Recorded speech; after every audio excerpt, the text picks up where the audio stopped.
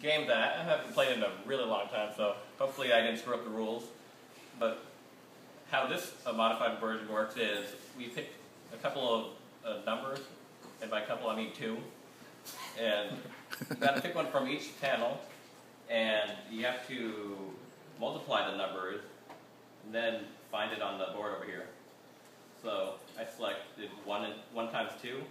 I can select all the twos, but I can't pick anything else like 42. Sadly, no. Not the answer to everything. And then, um, how what the goal is is we going we're, is to have multiple people playing on the same computer, so everybody can only pick one number at a time.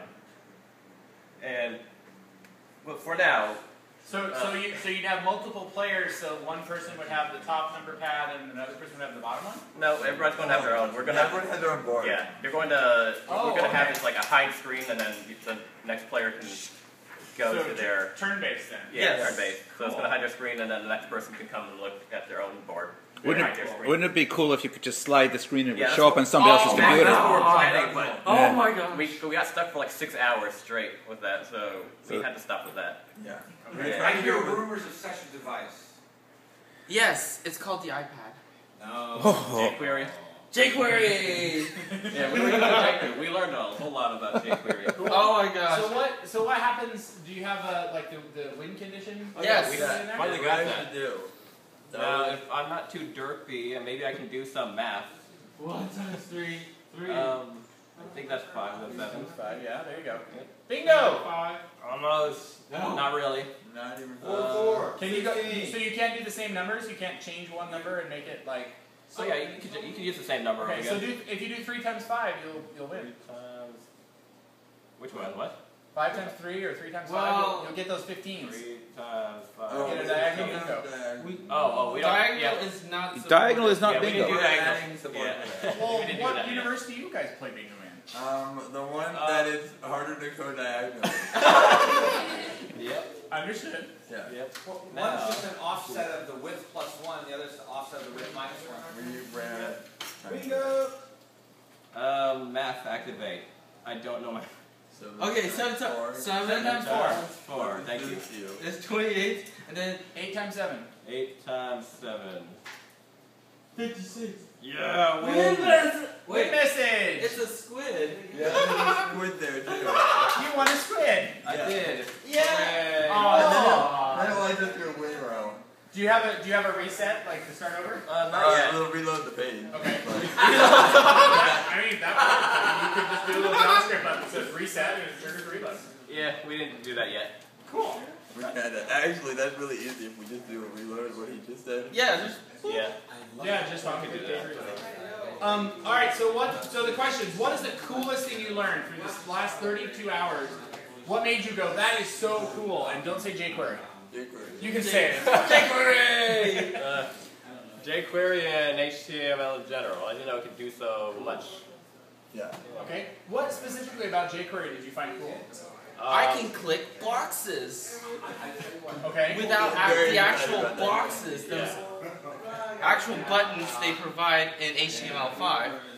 I like the simplicity it makes um, everything. Like before, I would, if I want to do something, the, the equivalent, I would have to write maybe a one screen pa- uh, one screen of code.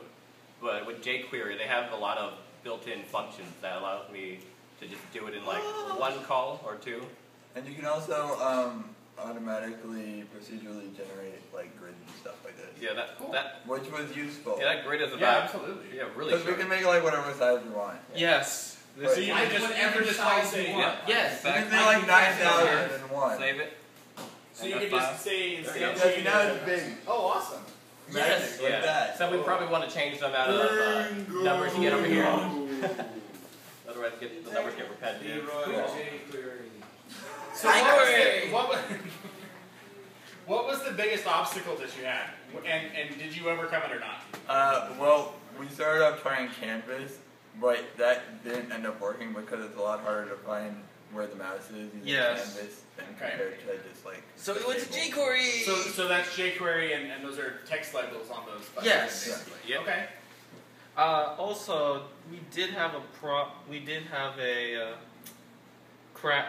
We our code sort of died out because due to overextensive being awake. As can happen. Yes, and therefore we spent pretty much out hours to try and debug it.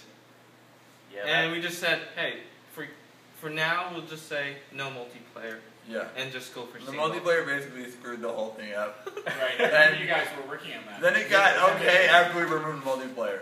It's kind of like Minecraft, except um, they have working multiplayer somewhat, some of the time. No, uh, that's that's important in software development. Sometimes you gotta say, you know what, we gotta test this feature if we're gonna ship it. You now understand the, the difficulty in doing MMORPG. Or multiplayer, period. Yep. Yep. Yeah. yeah. It makes it complicated. So what's next for your app? Well, finish it for sure. Multiplayer. Multiplayer. Yes, multiplayer Yeah. is required. Working multiplayer. Okay. Yep.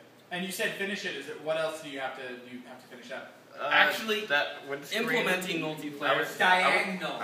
Yes, Also, I- we need, we need to be able to lock one of those so it only lets you pick one per turn instead of you can just randomly pick them. Get all the instances of like 15 Yeah. or whatever. Yeah. Okay.